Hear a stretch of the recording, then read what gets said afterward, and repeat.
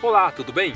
Eu sou Marcelo Kuhlmann, sou biólogo, sou botânico e seja bem-vindo ao meu curso Descobrindo o Cerrado, onde vou te ensinar a reconhecer as espécies frutíferas mais comuns do bioma. Eu acredito que a maior ameaça ao bioma cerrado é o seu desconhecimento e desvalorização. De fato, a maioria da população brasileira não conhece nem mesmo as plantas e animais mais comuns que fazem parte da nossa rica biodiversidade. O Cerrado representa a savana mais rica do planeta, sendo considerado um grande jardim, pomar e farmácia viva.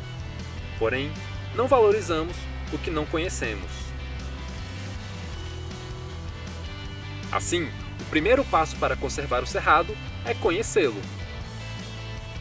Conhecer as suas espécies, as relações ecológicas, sua importância ambiental, as comunidades e povos tradicionais, as plantas úteis com potencial econômico, enfim, aprender a viver de forma sustentável nesse bioma que é um dos mais ricos e antigos do planeta.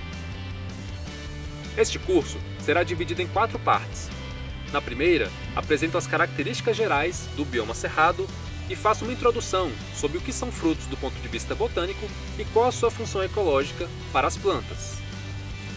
Na segunda parte, começo apresentando as principais famílias e espécies de frutos do cerrado que são atrativas para a fauna, incluindo nós, a espécie Homo sapiens.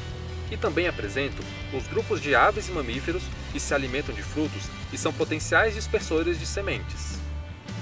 O conteúdo que irei apresentar aqui faz parte dos meus livros Frutos e Sementes do Cerrado Espécies Atrativas para a Fauna, uma coleção de guias de campo com fotos e informações detalhadas de mais de 500 espécies nativas de plantas e animais que ocorrem no bioma. Na terceira parte, apresento com mais detalhes as principais espécies de frutos comestíveis do Cerrado, falando onde e quando encontrar esses frutos no bioma, de que forma seus frutos podem ser consumidos e também alguns aspectos para o plantio dessas espécies.